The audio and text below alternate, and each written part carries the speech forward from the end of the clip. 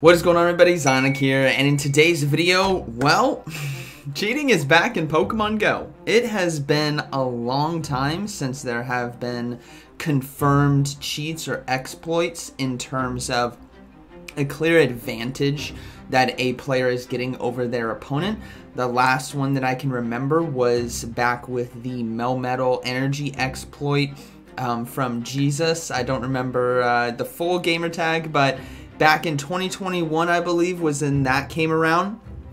And uh, PokeAK here, who we're going to be seeing clips from his channel. I'll have a link to this video down in the description so you guys can go check out for yourselves. I'm also going to have it muted so you guys can hear his own opinion. I highly encourage you guys go check that out.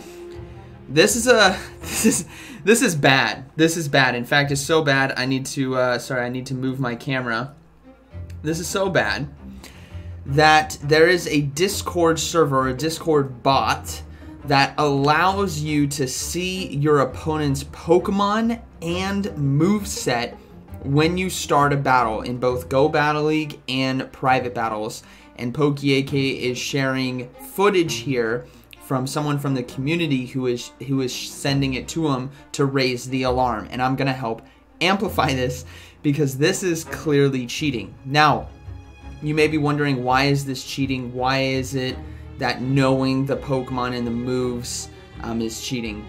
Because the only skill, and I'm going to define skill as accessing knowledge very quickly, having a large database of knowledge in terms of typings, move sets, energy costs, move, um, and uh, fast move energy, right? Damage done, right? If a Venusaur's Frenzy Plant can KO your Azumarill or not from a certain health range, whether it is shielded or not. You know, there's a lot of implications when it comes to skill, and the skill is accessing that knowledge and applying it in real time. This circumvents a lot of skill. This circumvents a lot of stuff. It doesn't necessarily mean you're going to win, but it gives you a huge advantage and something that I have been preaching on my channel for years is learning how to team read, right? If you see your opponent lead with a Swampert, you can make an educational guess that they have something to cover grass in the back, and therefore you have two of their three Pokemon kind of accounted for, right? So back in the day used to be Swampert and Skarmory. You have those two accounted for, and you just got to figure out number three and calculate in real time with your skill, with your team, how you can overcome that. That's the whole point of Go Battle League, and that's why it's so much fun. This goes above and beyond that. So I'm going to go ahead and play the clip if I can see it right here.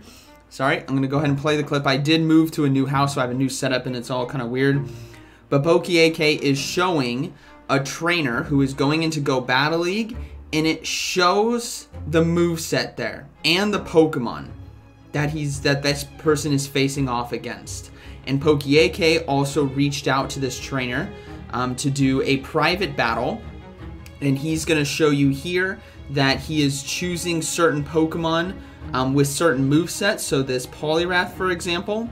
And then you're going to see it appear on screen when he goes into the battle. So watch this. Watch the Discord bot.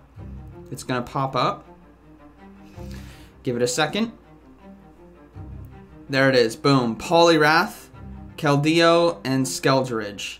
That, my friends, is that that's a wrap. That is that is blatant, blatant cheating and a blatant exploit. Now we need to amplify this out so that Niantic can address it. I don't know what they're to be able to do, but the fact that bots can have access to the code and read the teams and the fast moves from your opponent is is just bad. There's nothing good that comes from this.